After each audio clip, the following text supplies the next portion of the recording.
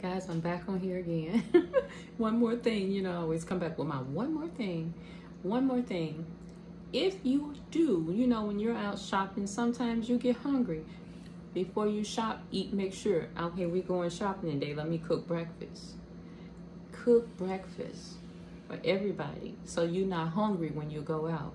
Now, if your day goes long and you have to go and eat out, you can't make it back to the house. You guys, oh, oh we got to get something to eat. Always shop the value menu. Sometimes they have two for something on the burgers. Go to what's on sale. When you re, re get up there to the counter, hey, what y'all got on special? What's on sale? Don't go to the most expensive item on that menu. That's anywhere, any restaurant you go.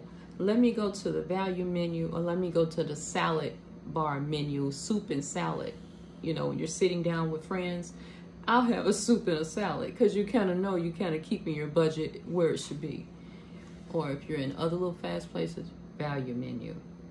But before you go out, on days that you're going out to do this spree shopping for things you need in the house, let me eat breakfast. Let me get a kid's breakfast. Let me make sure we all have breakfast.